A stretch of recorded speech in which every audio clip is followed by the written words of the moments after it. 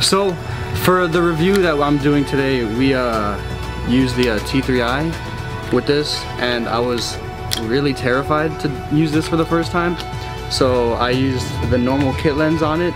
It does have a built-in uh, IS, so it uh, the shake is not as much, I guess.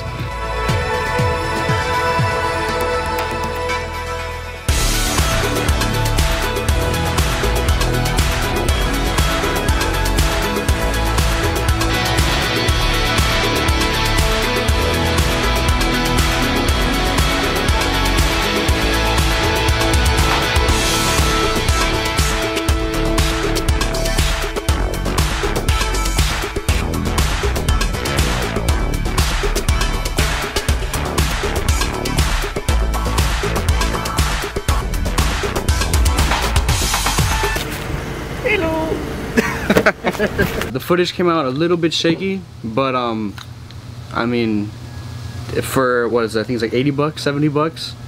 Uh, this is really great. I bought the one with three cups just because I didn't want to trust two, but you know, I think if I would take the third one off, two would be just fine. I want to thank my friend Jonathan that's helping me with this because he never really helps me, but whatever. Um, I want to recommend this to everyone that wants something like this. It was great. Thank you for watching. I'll see you next time, maybe? Is there gonna be a next time? Alright, whatever.